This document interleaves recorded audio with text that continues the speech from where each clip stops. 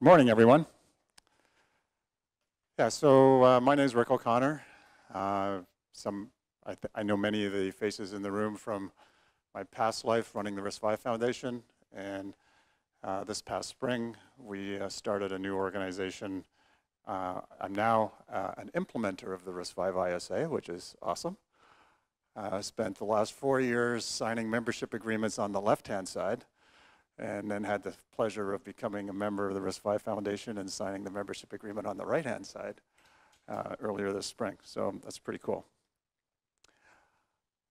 So um, how many people here have actually uh, read the RISC-V spec? Great. How many, how many have a project implementing RISC-V? A few, yeah, fewer. Uh, that's good. So I'm going to give like a real probably two minute introduction to the RISC-V ISA and the parts of it that I think are the most interesting and why, why there's momentum behind the adoption of the ISA. And then I'm going to talk about, you know, in the, in the chip industry, we've had sort of the siren song of open source on the, on the rocky shores of our journey for a long time. And why can't we, in the hardware space, like the software brethren, take advantage of open source uh, methods and philosophy in SOC design. Uh, so I'll talk about those challenges a little bit and what, what might be some of the opportunities to overcome those challenges. And then specifically what we're doing in the open hardware group, the CORE-V family of cores from the great guys at, uh, at the Pulp platform in ETH Zurich. Give you, give you a quick status update on where we are with launching this organization. So I think this is a familiar slide to uh, many of you. I've I used this slide uh, many, many times in the past uh, when I was giving RISC-V talks. And any modern SoC today, not just a Tegra SoC from NVIDIA, has dozens and dozens of cores on the SoC, and quite often upwards of half a dozen, if not more, completely different ISAs uh, on, on those cores. Many of the cores aren't exposed you know, through the API to the user. They're completely embedded, if you will, with a, their own software stack that needs to be supported. And to be honest, it's a bit of an engineering nightmare. If, if we didn't have uh, legacy that we're integrating into these SOCs, and, and we came up with a design that looks like this, as systems engineers, you know, our, our boss should just shoot us and you know, send us out the door. So do we need so many ISAs? And do they need to be proprietary, right? Well, obviously, no. What if there was something like this RISC-V thing that was simple uh, and far smaller, easier to, to digest, uh, has no microarchitectural techniques built into the specification that presuppose what your, what your implementation is going to look like. And these next two bullets are probably the most in interesting reasons for why RISC-V is being adopted. Uh, the modularity uh, we, have, we have a challenge in the semiconductor industry. I don't want to get into a physics debate of whether or not Moore's law is dead, but let's just take for a second that it is. And the only way to achieve performance gains is through new architectural techniques. We need to do things a little differently than what we've done in the past. Part of the challenges with some of the legacy ISAs is that they're one contiguous list of instructions that you must have in order to be compliant with the ISA. Well, RISC-V changes that paradigm, right? It's a modular standard set of ex extensions that you use only what you need to handle the data loads that you're that you're uh, that you're interested in, the data payloads that you're interested in. So that modularity uh, is is very interesting. And on top of that, you can extend it with your own custom instructions. So I take advantage of that modularity by having a reserved opcode space that will never get trampled on, that you can implement your own secret sauce, and special instructions to run your own algorithm and, and, so on. And that is very interesting. The other aspect that's kind of cool about these extensions is helps us with stability. So even if we baked something wrong into a released and ratified extension, it will not change. It will live on, warts and all, forever. We can correct those kind of maybe mistakes in a future extension. So if you have a device that implements this original extension that has uh, you know, some errata associated with it. That will always be supported in production forever and ever, and that's great. You could then uh, develop a new device that could take advantage of the new extension that, that maybe looked after that. So that stability is important as well. And these, you know, many extensions, um, that, that carve up the, the different functionality. And a way I, for, for gray-haired guys like me uh, that are in the audience, you're probably familiar with a green card, or at least the assembly card that you stuffed in your back pocket if you were working on old IBM machines, or you know some DEC machines, flipping boot switches on the front of a PDP-8 or PDP-11. You kind of walked around with those things. And nothing highlights the simplicity of the RISC-V ISA more than building your own green card. Right, so here's the 32-bit um, integer instructions. That's kind of hard to read on this screen, but it's really quite legible. I think the fonts got mixed up. You had 14 more instructions for privilege mode, uh, another handful uh, for multiply divides, uh, 11 for atomics, the uh, floating point in, in various widths, the compressed mode, and then you know step and repeat for uh, for 64 and 128 across the card, and then you can build out your green card, right? And that's the whole ISA. And this is literally attached into one of the um, Patterson and Hennessy, the latest Patterson and Hennessy textbook as a tearaway for, for students in academia. So it's pretty cool. All right, that's good. Uh, so hooray for a free and open ISA, because it really paves the way for a, a, whole raft of innovation, as we'll, as we'll see in a moment. What are some of the cost drivers, though, if we change gears a little bit and just look at the development costs associated with an SOC, upwards of 90% if you add up the pie, uh, the pie pieces for software, the actual RTL design, the verification, the physical design, upwards of 90% of the, uh, the effort are, are uh, caught up in those four areas. And for highly differentiated IP blocks that really drive a unique selling point for that SOC, that makes a lot of sense. But if everybody's using the same cores anyway, um, maybe there's an opportunity to take advantage of some sharing in the ecosystem in order to tackle that problem. So a general purpose CPU core with an effective open source licensing model would be potentially quite interesting. But are you going to bet your badge? Are you going to walk into your boss's office, put your badge on the desk, and say, hey, I got an idea. Let's tape, tape out our next you know, multi-million dollar mask set device that we're going to run in volume production on this core that I found online in a GitHub repo developed by some cool guys at the university that kicked out Albert Einstein, you know, Zurich. Um, probably not, right? So there's, there's an IP quality concern, there's a roadmap concern. It's great that there's this one core uh, that I can get. Um, but you know, what's the support going to look like? How well is it verified? Those are, those are significant challenges. And then on top of that, there's the ecosystem, because if you're going to uh, put a core into your SOC, there's a tool chain issue, uh, what, what OSs or RTOSs have been ported to it. Um, is, what, what kind of quality am I going to get out of this? Is, you know, what are the PPA metrics? Is it, a, is it really, uh, is it really a piece of IP that would look like a commercial piece of IP that I, I would typically license? And then speaking of license, do I have to give it back if I make a change, if I make a tweak, I do something innovative like we talked about before and you put a custom, you know, some custom instructions in there or whatever, I'm like, what are the, what are the licensing conditions? So permissive use, if we really want these, um, these open source artifacts to be adopted in high volume implementations, we, we need to not legislate giving it back, we need to incent giving it back by the fact that we've got a healthy ecosystem right? So the license has to be permissive if, you, if we expect large semiconductor companies to, to participate.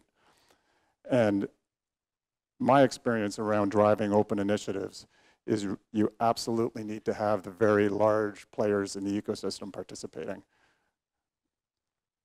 So we flip back to what RISC-V has done in this space, right? It's really, because it's a free and open ISA, uh, Frank and I could start a new processor company in his kitchen tomorrow, right? We don't have to talk to anybody. We can download the spec, start innovating away. It's really unleashed a completely new frontier of innovation in this space, something that has really not been seen ever in the processor space. And that's a really good thing.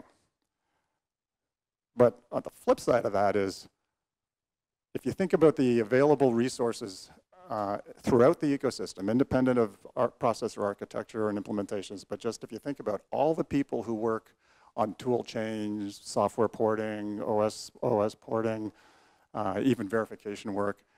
Of, of that resource, that, that, that is a finite amount of resource. The more cores of different architecture, uh, of the same architecture, but the more cores we throw into that resource pool, all that we're doing to ourselves is splintering up the pool and making it harder and harder to achieve critical mass. And if you think back to the early days of Linux, there were literally dozens and dozens of Linux distributions out there in the early days. Now there's still a lot, but there's really like, what, five, depending on your favorite one, six uh, distributions that are, that are popular. We're going to need in our ecosystem collectively to go through that kind of a, uh, a focus, right? So I think the challenge for us as, as an industry is how do we achieve critical mass around a handful of good, solid implementations across different tool chains and so on, but nonetheless establishing that critical mass. And to highlight sort of the nature of the problem or the benefit of the openness, okay, so great. RISC-V ISA is free and open. Lots and lots of cores. So this is a snapshot that I took actually uh, a few months ago. I'm sure the list is longer now of all of the open source cores that are available implementing the RISC-V ISA, and there's more. And that's, that's, that's a, you know, hallelujah, pass the hot sauce. We've got lots of RISC-V cores. But it, it speaks to the problem of critical mass that I mentioned earlier. Well, it turns out that these, these couple of cores here, and, and the zero riscy core, but I want to focus specifically on RI5CY and Ariane, I've actually achieved a, an interesting, you know, uh, amount of adoption and, and interest overall from, from the industry. So let's look at that a little further.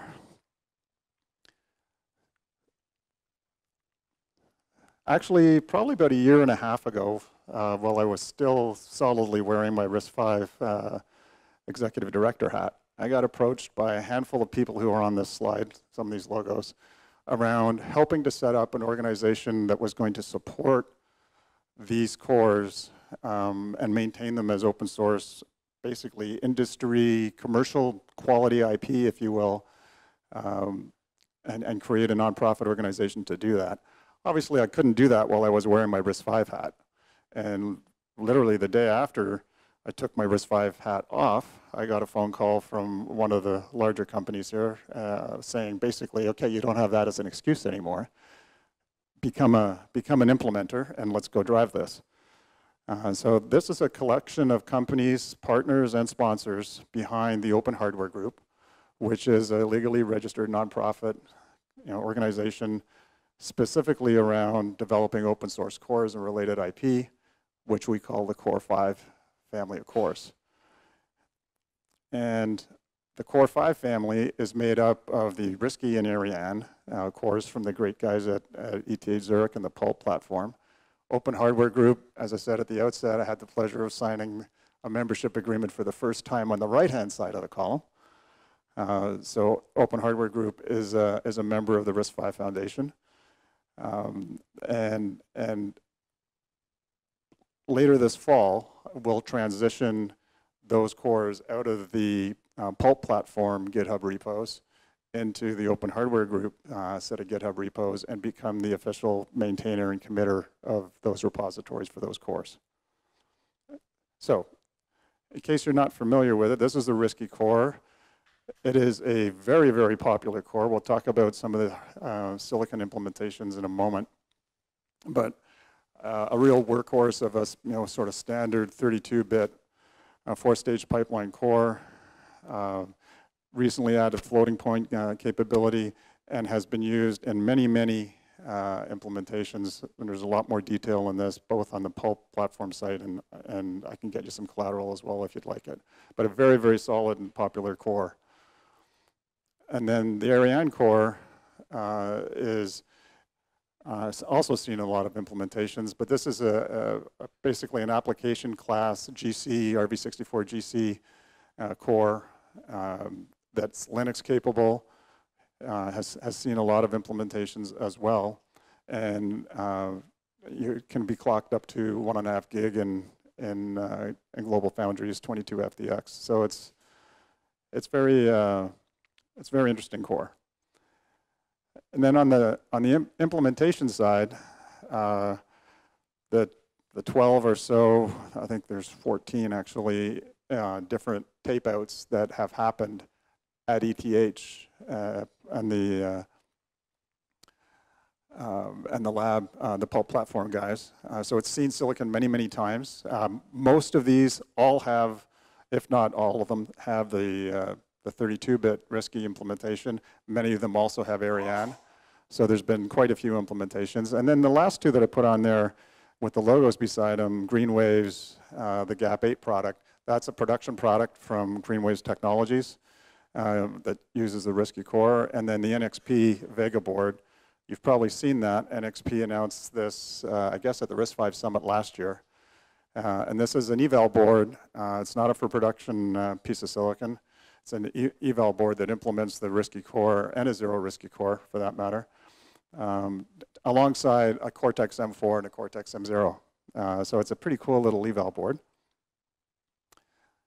So that's the CORE-V family, and, and, where are we now? So we have a board of directors made up of NXP, BlueSpec, Silicon Labs, and Alibaba Group, uh, and, and myself. Uh, and the board is responsible, obviously, for directing the organization with respect to the bylaws and, and membership agreement and fulfilling its, its ultimate purpose of make, maintaining these open source artifacts free and available to all users, not just members. And, and then spinning up these, these uh, task groups, right? So we have a technical working group that's basically the engineering organization for the company, if you will, and a marketing working group. And within those groups, in particular on the technical side, cores task group to drive the roadmap for the cores, what we're going to change, what we're going to implement going forward and there are more cores coming. Um, we've attracted a fair amount of interest in, in this model. Then a verification task group, and I'll talk about that in a second, and a platform task group to produce more things like the Vega board. So the verification task group, one of the things that I talked about earlier when you're going to bet your badge, right, is, is this a solidly verified piece of, uh, piece of code? And we're implementing a cloud-based open source verification test bench we're going to be leveraging and proving this test bench using commercial, uh, uh, commercial CAD tools, um, system Verilog simulators, but also parts of it will be able to run on, on Verilator uh, as well. So it's, it's a very interesting project, and it's obviously contributed by all of the member companies that I showed earlier. Uh, so as a result, we're able to build something that is more comprehensive and more robust than any single organization would do on their own. So we launched the company at the Zurich workshop in June. You may have, uh, when I say company, I'm talking about the Open Hardware Group. It's a nonprofit organization, but it is legally a, a registered company. Uh, so make sure you, you follow us on the social media lists and so on. Status-wise, we are uh, just probably this week or next ratifying the bylaws and membership agreements uh, together with the early sponsor companies and then being able to open it up to more and more members. So to stay on top of things if you're interested. All of these links in the slides are live and you'll have them later, but you can join our mailing list to, to, to stay on top of what's, what's going on. So with that, I can take questions if you'd like. The summary slide just kind of repeats what I just said, and let's just stare at the logos for a while. Thank you.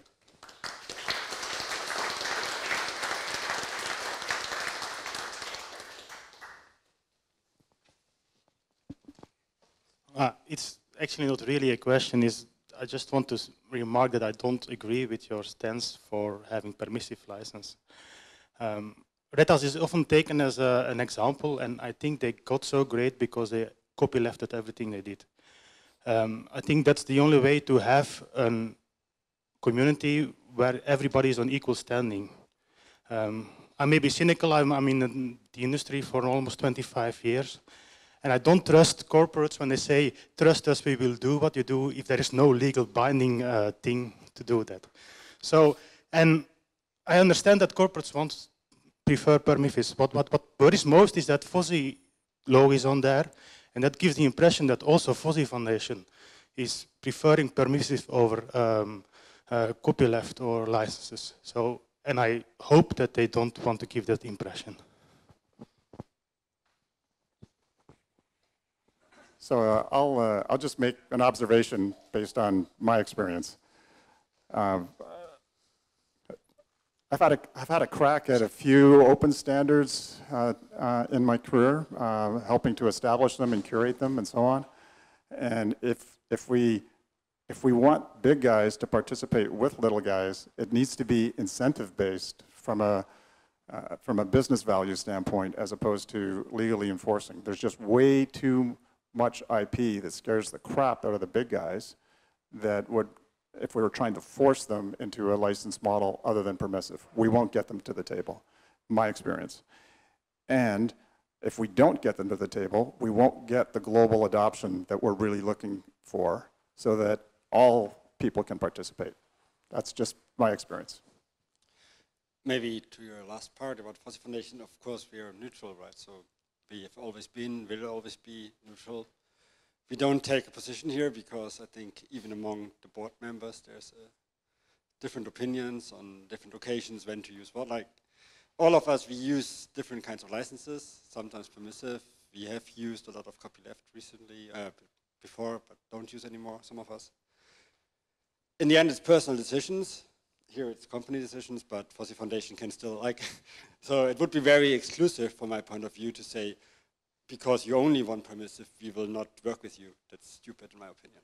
Like, it's a decision. And in this case, it's a business decision mostly, pretty much, right? And it's okay, right? Um.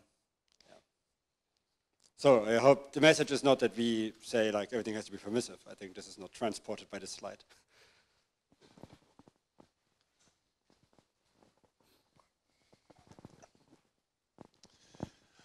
Uh, having had the wonderful opportunity of formally verifying some RISC-V cores, um, to include the RI5CY core that you work with, or that you mentioned, is there a reason why uh, you haven't mentioned formal verification at all in your verification strategy? Uh, are you intending to use formal verification or to hopefully just get lucky with uh, someone who believes in formal verification picking up a core and uh, demonstrating what you're missing? Okay, so a couple, uh, couple of questions in there. I'll start with the last one first. I don't really believe in luck, so no, we're not hoping to get lucky. Uh, and, and, to the earlier question, absolutely, we have a formal strategy that we're baking right now and not quite ready to, to, to, to chat about it. As we open up, so where we are, this group of companies have come to the table to help define the governance model and what we think we should focus on. So that's the activity that's going on with these sponsor companies. We're, we're just about ready to ratify membership agreement and bylaws. And by the way, we, we pretty much invited everybody to join the sponsor group. The people who are really passionate about it have. Um, we'll be opening, opening up the discussion to define what the verification strategy needs to be, and formal is absolutely in there. You can probably recognize that there's some formal folks at the table already.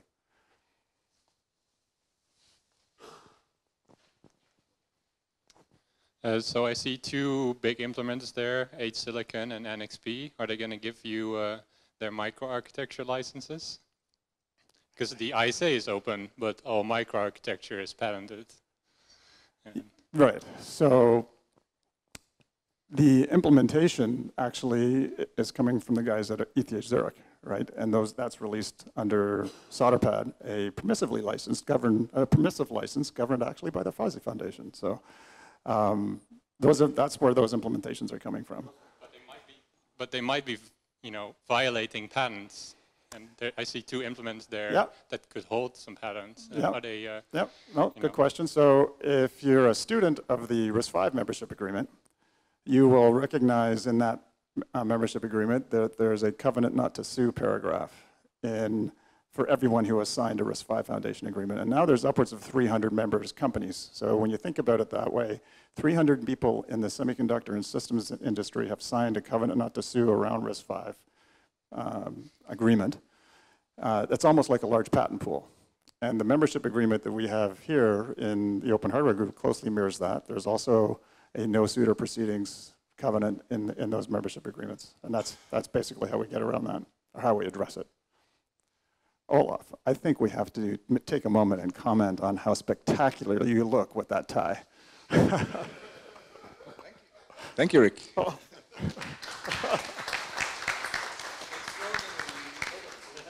Did you have a question or you just wanted the mic? a bit of both. Uh, so my question was, um, uh, has there been any tape outs? You, can you comment on if there are any planned tape outs from this group with, with the work you're doing? It's always good to point to examples when people ask. Yeah, so um, we haven't actually started operation yet until the bylaws and membership agreements are ratified. Um, But we have plans for uh, tape out in, in 2020 that will include both the Ariane and RI5CY Course. And we're still trying to finalize those plans so we can talk about them and invite more people to participate. And also, uh, I see that there were no bit serial cores. Uh, is that a gap in the CORE-V family? Uh, I, I can't, I can't imagine where we could get some of those if anyone wanted to contribute something like that. I don't know. I kind of fancy two AMD 29K uh, slice machines, you know. Hey, Rick, looking at um, the material you presented, it seems like the bulk of the work that the Open Hardware Group is going to be doing is taking some existing open source cores and increasing the quality, the verification quality, and maybe the PPA quality. Um, how, how, how is that going to happen? Is the Open Hardware Group going to employ engineers uh, and they all work together on GitHub or something? Or is this member companies taking bits of that work and contributing it back uh, under the kind of organizational aegis of the Open Hardware Group? Or how's that makeup going to work? So good question. Uh, short answer is yes, right? So it's an and, uh, not an or. Um, the way that the Open Hardware Group is constituted, we're using roughly a ratio of one to four internal Open Hardware Group engineers for every four contributed engineers from members. So it's sort of a, um, uh, oh geez, what's the software organization I'm thinking of? Never mind. Um, pardon me? No, no, no. Um, uh, it- So we have a, um, um, an implementation model, like I said, where we have in- so internal resources at a ratio of one to four. So part of the membership agreement uh, that uh, corporate signs up to is based on the size of the company, what their dollar commitment is, and how many FTEs, full-time equivalents, we call them active contributors, that that company contributes. And we will be creating, if you will, virtual teams out of the member contributed resources and the internal resources that we hire inside the Open Hardware Group uh, to, to create those teams. One of the reasons for that is the member company resources will come and go depending on the projects inside their company. Um, But clearly, these cores will live on for quite a long time and hopefully have a useful life to be adopted into, into new designs. So the resources that are inside the Open Hardware Group will continue to maintain and support those cores uh, going forward. And it's not just about a contributed core that gets improved and verified. There will also be some sort of ground-up development from the uh, member company and internal resources as well.